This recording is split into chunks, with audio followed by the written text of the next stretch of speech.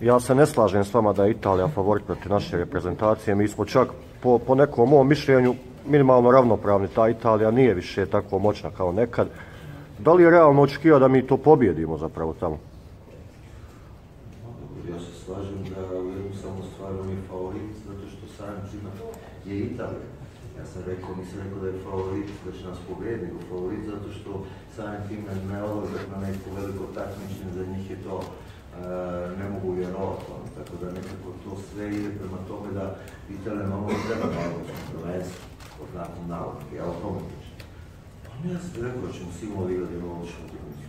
Normalno da nam puno, puno znači i što je evidentno ta prva utakmica protiv Finske, to nam je najvažnije da, da tu budemo ono pravi i da to napravimo taj rezultat koji nama odgovara. Znači, a onda će biti puno lakše sigurno i igračima, a ovo biti u cijeloj atmosferi da se odigrašemo jako dobro u Da li je pametno napasti Italiju u gostima?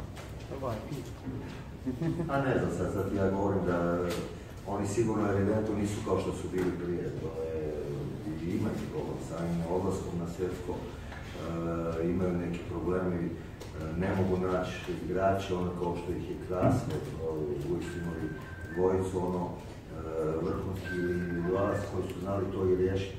Tako da, ne loša reprezentacija, sigurno, kad pričamo o njima, ne loša, čak i dobro, jer svaki dolaze tu mladi igrači koji igraju ipak u Dajansku ligu, koji, koji ovaj, e, imaju kvalitete, možda ne igraju najbolji kao što su igrali prije, ali imaju kvalitete.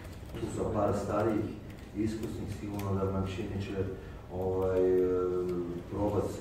sigurno protiv nas, da nas dobije što je normalno. On misli da sa ta tri boda i ovo što igraju prije toga kad dobije, onda je Italija sigurno već blizu korak za odlazak na, na Evropsko prvenstvo.